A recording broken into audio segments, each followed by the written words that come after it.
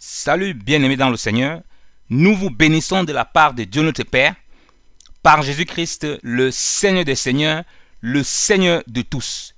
Et nous voulons encore partager la parole du Seigneur avec vous.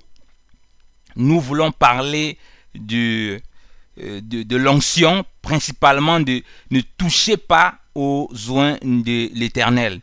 Vous savez, c'est un mot qu'on utilise ou bien qu'on voit beaucoup utilisé dans des églises soi-disant de réveil, où certains passages de l'Ancien Testament sont pris et sont tordus pour maintenir le peuple dans la captivité, dans l'ignorance et pour mettre les gens dans la peur. Donc beaucoup de pasteurs, beaucoup de prédicateurs utilisent ce mot onction, utilisent ce passage de la Bible qui dit ne touchez pas aux ondes de l'éternel pour maintenir les gens en captivité. Et c'est très grave aux yeux du Seigneur. Et beaucoup de chrétiens, par manque de connaissance de la parole de Dieu, par manque de révélation, ils croient que c'est normal que ces pasteurs fassent cela. Et beaucoup croient que ces pasteurs ont le droit de prendre certains passages dans la Bible, de les déformer à leur guise et de maintenir le peuple. Bien aimé dans le Seigneur, la Bible nous dit par la bouche de Paul dans 2 Timothée 1,7 Nous n'avons pas reçu un esprit de timidité, mais un esprit de courage, bien aimé dans le Seigneur. Donc l'esprit de Dieu qui nous habite est un esprit de courage qui ne peut pas se taire devant, devant les malfaiteurs, devant les faux prophètes, devant les faux enseignements. Tu ne peux pas te taire lorsque tu es saisi de l'esprit de l'éternel devant des enseignements qui, qui essayent de mettre le peuple en captivité. Autrement, toi-même, tu commences à jouer le jeu du diable. Voilà pourquoi nous voulons expliquer les choses clairement. Au lieu d'expliquer la parole de Dieu, certains ne, font que piquer les versets dans la Bible pour asseoir leur autorité, comme des Nicolaïtes, c'est-à-dire les gens qui dominent le peuple, qui, qui écrasent le peuple et s'élèvent au-dessus du peuple. Donc si vous êtes là, vous devez savoir, bien aimé dans le Seigneur, que vous êtes loin comme tout le monde, bien aimé dans le Seigneur. Et que personne ne doit vous traiter comme si vous étiez un étranger dans la maison de Dieu. Et que personne ne doit utiliser un mot ancien, un mot ne, me touchez pas, un mot comme si il, est intouchable, on ne peut pas le critiquer, on ne peut pas lui faire des remarques pour excuser, pour, dérapages, ces dérives des pasteurs qui vivent dans le péché, des pasteurs qui vivent dans, la déviance, des pasteurs qui enseignent des fausses doctrines. Et lorsqu'ils se rendent compte que les gens dans l'assemblée murmurent contre ces voix ténébreuses, ils sortent ces passages dans la Bible, ne touchez pas les ondes éternelles, et ils commencent à raconter des histoires des gens qui ont eu des, des catastrophes, des, choses leur sont arrivées, et le peuple est maintenu dans la peur, et les gens se taisent. Voilà pourquoi l'Éternel lève toujours des messagers, toujours des prophètes, toujours des trompettes, pour sonner la trompette. Pour, sonner la trompette afin que les gens reviennent à l'évangile et pour reprendre avec véhémence les doctrines des démons et les hérésies qui sont introduites dans, parmi le peuple. Et Paul va le dire à Tite que les, les, prophètes de Crète, qu'il faut les reprendre afin que leur foi soit saine. Voilà pourquoi nous voulons expliquer l'écriture, expliquer ces choses, afin que nous ne soyons plus sur le joug d'un quelconque homme. Le passage qui est utilisé, c'est un passage qui concerne David et Saül dans l'Ancien Testament. Pour ceux qui ne le savent pas, Saül est le premier roi d'Israël. Israël avait demandé par le prophète Samuel de Samuel qui était prophète en même temps sacrificateur, qui avait demandé un roi. Et Dieu avait suscité euh, euh, euh, Saül. Mais après ça, Saül qui n'a pas obéi à Dieu, qui a désobéi, Dieu l'a déchu. Et Dieu a oint David. Et c'est dans la poursuite. Saül a commencé à faire une poursuite contre David pour en vouloir sa mort à cause de la gloire. Saül qui voulait la gloire, qui voulait toujours régner alors qu'il avait été déchu. Et David qui fuyait, et c'est dans cet élan-là, dans ces choses, que le mot l'a été utilisé pour la première fois, où David dit que je ne toucherai pas loin de l'éternel. David qui est pourchassé. Pourquoi? Nous devons d'abord aller lire l'écriture pour rentrer en profondeur et comprendre ce que le Seigneur veut nous enseigner. Lisons la Bible. Si nous lisons 1 Samuel 24, à partir du verset 1, Puis David monta de là et demeura dans les lieux forts de Engedi. Et quand Saül fut revenu de la poursuite des Philistins, on lui fit ce rapport, disant Voilà David au désert de Engedi. Alors Saül prit trois mille hommes d'élite de tout Israël, et il s'en alla chercher David et ses gens jusque sur le haut des rochers des chamois. Et Saül vint au parc des brebis, auprès du chemin, où il y avait une caverne, en laquelle il entra pour ses nécessités. Et David et ses gens se tenaient au fond de la caverne. Et les gens de David lui disent, Voici le jour dont l'Éternel t'a dit, Voici, je te livre ton ennemi entre tes mains, afin que tu lui fasses selon qu'il te semblera bon. Et David se leva et coupa tout doucement le pan du manteau de Saül. Après cela, David fut touché en son cœur de ce qu'il avait coupé le pan du manteau de Saül. Et il dit à ses gens, Que l'Éternel me garde de commettre une telle action contre mon Seigneur loin de l'Éternel, en mettant ma main sur lui, car il est loin de l'Éternel. Ainsi, David détourna ses gens par ses paroles, et il ne leur permit point de s'élever contre Saül. Puis Saül s'éleva de la caverne et s'en alla son chemin. Après cela, David s'éleva et sortit de la caverne et cria après Saül en disant Mon Seigneur le roi. Et Saül regarda derrière lui et David s'inclina le visage contre terre et se prosterna. Et David dit à Saül Pourquoi écouterais-tu les paroles des gens qui disent Voici David cherche ton mal Voici aujourd'hui, tes yeux ont vu que l'Éternel t'a livré aujourd'hui en ma main dans la caverne.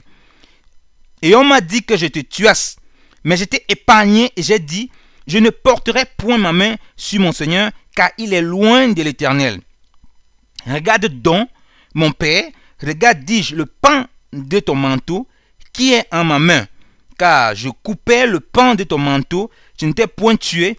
Sache et connais qu'il n'y a point de mal, ni d'injustice en ma main, et que je n'ai point péché contre toi. Et cependant, tu épis ma vie pour me lutter.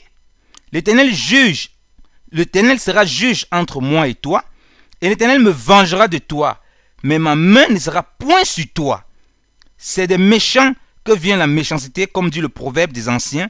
C'est pourquoi ma main ne sera point sur toi. Après qui est sorti, après qui est sorti un roi Israël, qui poursuit-tu Un chien mort, une puce, l'Éternel donc sera juge, et jugera entre moi et toi, et il regardera et plaidera ma cause et me garantira de ta main. Or, il arriva qu'aussitôt que, que David eut achevé de dire ces paroles, Saül dit, N'est-ce pas là ta voix, mon fils David? Et Saül éleva sa voix et pleura. Et il dit à David, Tu es plus juste que moi, car tu t'es rendu le bien, car tu m'as rendu le bien pour le mal que je t'ai fait. Et tu m'as fait connaître aujourd'hui comment tu as usé de gratuité envers moi car l'Éternel m'a livré entre tes mains, et cependant tu ne m'as point tué. Or, qui est-ce qui, ayant trouvé son ennemi, le laisserait aller sans le faire du mal? Que l'Éternel donc te rende du bien pour ce que tu m'as fait aujourd'hui. Et maintenant, voici, je connais que certainement tu régneras et que le royaume d'Israël sera ferme entre tes mains. C'est pourquoi maintenant, jure-moi pas l'Éternel, tu, que tu ne détruiras point ma race après moi et que tu n'extermineras point mon nom de la maison de mon père. Et David le jura à Saül, et Saül s'en alla en sa maison, et David et ses gens montèrent dans le lieu fort. Amen. Bien-aimé dans le Seigneur, lorsqu'on lit déjà ce passage, on comprend bien ce qui s'est passé. Il s'agissait d'abord pour David. Dieu a permis, Dieu a mis son ennemi devant lui, puisqu'ils sont sous la loi.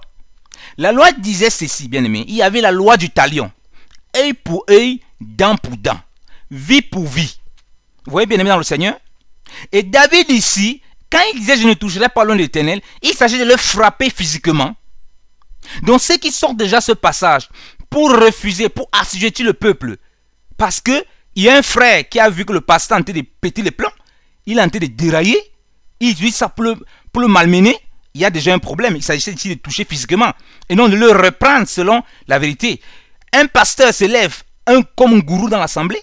Lorsque les anciens lui font des remarques, le dimanche, il prend le micro, il fait la prédication pour s'auto-élever en se présentant comme loin de l'éternel qu'il ne faut pas toucher. Ça, c'est de la manipulation. Et on voit ici que Dieu va enseigner à David.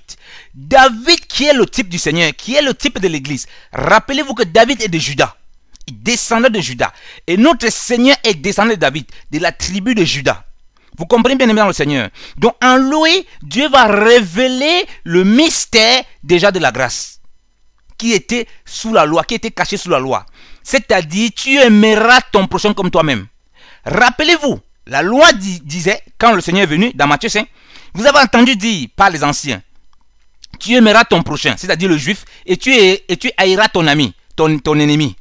Mais Dieu ici, par cette situation qui pose à David, il commence à enseigner à David le cœur de Dieu. Il commence à lui donner la révélation de la loi. Cette révélation de la loi, c'était ceci, qu'il fallait aimer ceux qui nous haïssent, ceux qui nous détestent. Saül, qui était le roi d'Israël, qui était déchu, parce que David avait été oint comme roi, représente les hommes déchus de la grâce de Dieu. La Bible nous dit ceci. Tous ont péché et sont privés de la gloire de Dieu. Et sont gratuitement justifiés par le moyen de la rédemption qui est en Jésus-Christ. Donc David ici, on voit le moyen de la rédemption, de la justification qui est en Dieu. Parce qu'il dit à, Saül, c'est Dieu qui sera juge entre toi et moi. Voilà pourquoi Romains 12 nous dit ceci, que ne rendez point le mal par le mal, abstenez-vous de toute apparence de mal. Faites du bien à ceux qui vous font du mal. Et c'est ce que David est en train de faire ici. Ce qui est contraire à la loi. C'est pourquoi les serviteurs de David, eux qui étaient animés de la loi et qui ne saisissaient pas le, mystère de l'évangile, voulaient à tout prix que David livre son ennemi. David le zigouille. Vous voyez, bien aimé dans le Seigneur. Donc, c'est une révélation de la dispensation de la grâce, bien aimé dans le Seigneur, que Dieu nous montre ici, là, par David. Au lieu que ces pasteurs vous, vous expliquent les choses de l'esprit, ils prennent ces passages pour vous manipuler. Or, Saül n'était plus loin. Dieu nous révèle que même les hommes qui sont déchus de sa grâce, même les hommes qui ne sont plus loin, qui ont chuté, il faut toujours les considérer comme les oins. Parce que tu ne peux pas aimer ton prochain comme toi-même si tu le vois comme en dessous de toi. Donc il faut que tu le voies aussi comme un loin de l'éternel. Puisque toi, en Jésus-Christ, tu as reçu l'onction du Saint-Esprit. Alléluia. Merci Saint-Esprit. Toi, en Jésus-Christ, tu as reçu la promesse de Dieu. Si tu le regardes comme inférieur, si tu ne le regardes pas comme oint, tu ne peux pas lui manifester, tu ne peux pas manifester l'amour de Dieu qui est l'amour de Dieu qui est infaillible pour tous les hommes. Alléluia. Voilà l'enseignement que Dieu donne ici. Or, Saül ne va pas se repentir toute sa vie. Et si tu vois la portée prophétique de ce message, tu vois que Saül qui est des Benjamites, Paul des Tasses aussi des Benjamites, qui va accomplir la même chose contre l'église. Pendant que Paul ravageait et tuait les églises, les bien-aimés avaient compris l'enseignement du, Seigneur. Voilà pourquoi. Lorsque Paul va rencontrer le Seigneur, c'est ces mêmes frères et sœurs qui vont accueillir Paul, bien-aimé dans le Seigneur. Vous voyez, donc la portée prophétique là se retrouve avec Paul, lui-même qui est des Benjamites comme Saül. Il croit servir Dieu. Il pourchasse le juste. Il pourchasse celui qui est réellement oint par le Seigneur.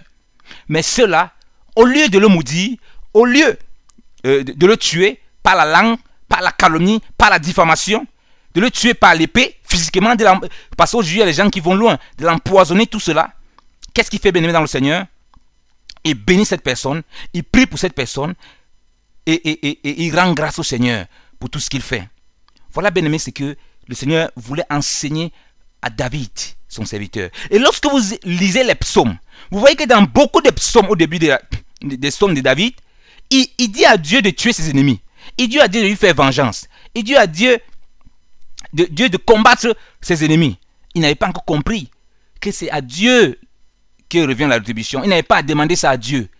Il n'avait qu'à prier et à bénir ses ennemis. Donc Dieu va enseigner à David, bien aimé dans le Seigneur, l'amour du prochain. Tu aimeras ton prochain comme toi-même. Tu ne peux pas aimer ton prochain comme toi-même si tu le vois en dessous de toi, si tu ne le vois pas comme un. Donc voilà pourquoi tous les hommes, bien aimés dans le Seigneur, ont été créés jadis à l'image de Dieu et à sa ressemblance. Même s'ils sont tombés du rocher du péché, tu dois les voir comme tes semblables. Si tu ne les vois pas comme tes semblables, tu ne peux pas manifester l'amour de Dieu. Lorsqu'ils vont te persécuter, tu pourras prier pour eux. Lorsqu'ils vont te haïr, tu pourras prier pour eux. Tu pourras les bénir. Lorsqu'ils vont te faire du mal, tu pourras venir leur faire du bien, bien dans le Seigneur. Voilà l'évangile qui est prêché par Jésus-Christ. Voilà ce que Dieu veut que on, explique et on enseigne aux gens. Au lieu de tordre ces passages bibliques et de le déformer dans tous les sens. David représente aussi le roi qui est dans le sacerdoce royal. Rappelez-vous, le sacerdoce royal, c'est un sacerdoce de persécution, comme nous l'avons bien vu. Et durant cette persécution, il a travaillé sa personne. Dieu a travaillé son cœur. L'homme au cœur selon Dieu. Et la Bible nous dit que c'est du cœur de l'homme, par la bouche de notre Seigneur Jésus. C'est du cœur de l'homme que viennent tous les souillures, hein, les mauvais désirs, les, les calomnies et toutes ces choses. Pendant ce temps, Dieu a travaillé son cœur. Dieu a travaillé son regard sur la loi. Dieu a travaillé son regard sur la parole. Et il a compris ce que Dieu veut et ce que Dieu attend de tout homme qui s'approche de lui. Alléluia. Donc ceux qui veulent sortir ce passage-là, ne touchez pas l'homme l'éternel. Il s'agit des païens que vous passez le temps à casser les gueules, que vous passez le temps à insulter, que vous passez le temps à dire qu'ils sont fils de perdition, qu'ils sont fils que vous passez le temps à tuer. Il s'agit des personnes qui ne connaissent pas le Seigneur, que vous passez le temps à détruire. Il ne s'agit pas de vous. Vous n'avez même pas l'onction, mais vous, vous voulez toujours utiliser des passages pour dire que vous êtes des oins de Dieu, alors vous n'avez même pas l'onction. Au lieu de prier que Dieu vous accorde la miséricorde, au lieu d'avoir un esprit de repentance, vous tordez les passages bibliques pour maintenir le peuple dans l'ignorance et dans l'aveuglement spirituel. Bien aimé dans le Seigneur, je vais vous montrer celui-là qu'il ne faut même pas toucher dans la Bible. Lisons Marc, lisons Marc, bien aimé dans le Seigneur, qu'il ne faut même pas essayer de toucher. Parce que en ce moment-là, qui aura affaire au roi des rois, au Seigneur des seigneurs, Jésus-Christ de Nazareth. Si nous lisons Marc 9, regardez celui que le Seigneur dit jugera très lourdement. Marc 9, du verset 41 au verset 42. Et quiconque vous donnera à boire un verre d'eau en mon nom, parce que vous êtes à Christ, en vérité, je vous dis, qu'il ne perdra point sa récompense. Mais quiconque scandalisera l'un de ces petits qui croient en mon nom, il lui vaudra mieux qu'on mit une pierre de meule autour de son cou et qu'on le jeta dans la mer. Vous voyez? Je dis que quiconque va scandaliser un seul de ces petits, que la personne a pour lui, il faut qu'on lui mette le cou, on le jette dans la mer, parce que le jugement qui va tomber sur lui, vous voyez, il ne s'agit pas d'un pasteur. Il ne s'agit pas de quelqu'un qui, passe devant, qui se dit, je suis, je suis bishop, je suis archibishop, je suis archipape, je suis. Non, Jésus, un seul de ces petits croient en lui. Donc si un homme de Dieu, soi-disant homme de Dieu, scandalise un seul enfant de Dieu qui est dans le, dans le Seigneur, Jésus le prévient. S'il ne se repent pas, croc, pupitre, pour venir insulter les frères, pour venir l'assujettir, tous les enfants de Dieu que vous assujettissez, vous, vous, vous manipulez, vous matraquez, Vaut mieux pour vous hein, que vous ne rencontrez pas le Seigneur parce que la Bible nous dit que le Dieu aussi un feu dévorant, qu'il est terrible de tomber entre les mains du Dieu vivant. Donc il sera terrible pour vous de tomber entre les mains du Seigneur si vous scandalisez un seul de ces petits. Parce que tous ces petits sont de son esprit. Et c'est ce que la Bible nous dit dans 1 Jean, 1 Jean, 1 Jean, bien aimé dans le Seigneur, lisons 1 Jean, 1 Jean 2, bien aimé dans le Seigneur, 1 Jean 2, qu'on dit la parole 1 Jean 2, 20. À partir du verset, à partir du verset 19. Ils sont sortis d'entre nous, mais ils n'étaient point des nôtres. Il s'agit ici des antichrists. Car s'ils eussent été des nôtres, ils fussent demeurés avec nous. Mais c'est afin qu'il fût manifesté que tous ne sont pas des nôtres. Mais vous avez été oints par le Saint-Esprit et vous connaissez toutes choses. Bien évidemment, le Seigneur, vous êtes tous des oins de l'éternel.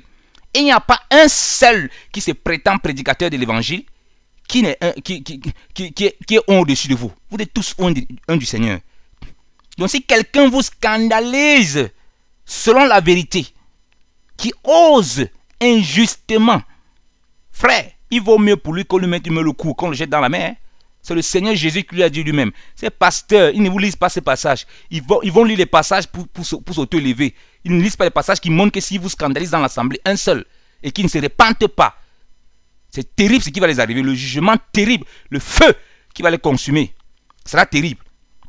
Mais ils refusent de vous citer ces passages. Ils vous font croire que vous n'avez pas l'onction. Vous avez l'onction.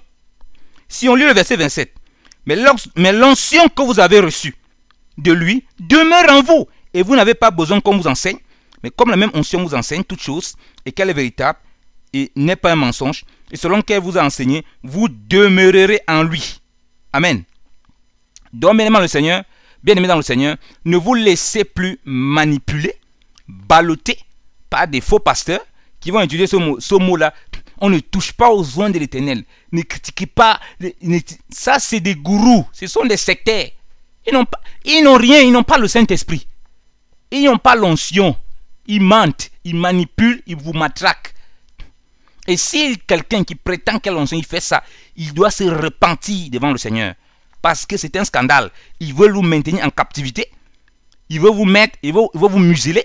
Ils musellent la bouche, la bouche des prophètes des, trompettes, des gens qui peuvent les ramener dans leur bon sens, qui peuvent les reprendre parce qu'ils s'écartent de la foi. Ils ont créé des entreprises, des églises entreprises où ils dirigent avec leurs femmes et leurs enfants. C'est une, c'est, une entreprise familiale. Voilà pourquoi ils vous effraient comme ça. Ne vous laissez plus effrayer. Vous êtes tous des enfants du Seigneur et vous lui appartenez. Et vous avez reçu tout son esprit, vous êtes tous un. Et même les païens, Dieu vous demande de regarder, comme nous l'avons vu avec Saül, l'homme qui a chuté, comme Adam a chuté, et ils persécutent maintenant, comme Caïn a persécuté Abel, comme les Juifs ont persécuté Jésus, comme les païens, comme les nations ont persécuté les, disciples de Christ, comme les nations jusqu'aujourd'hui nous persécutent, comme les faux frères nous persécutent jusqu'aujourd'hui.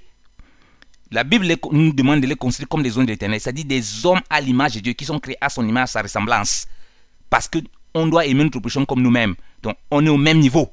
On ne s'élève pas au-dessus d'eux nous sommes sujets aux mêmes infimités que ses frères et sœurs. Même s'ils ne connaissent pas le Seigneur, même si certains d'eux sont égarés totalement, même si certains d'eux vont, en enfer, désirent tout doivent l'enfer, c'est ce que le Seigneur nous demande à faire. Regarde maintenant les gens qui n'ont pas l'onction, les gens qui ne connaissent pas le Seigneur, ou bien les gens qui sont déchus de la grâce de Dieu, comme des hommes de l'éternel, et tu pourras travailler efficace, efficacement pour le royaume, tu pourras aimer réellement ton prochain comme toi-même. Que le Seigneur te Dieu vous bénisse abondamment. Au nom puissant de Jésus. Amen.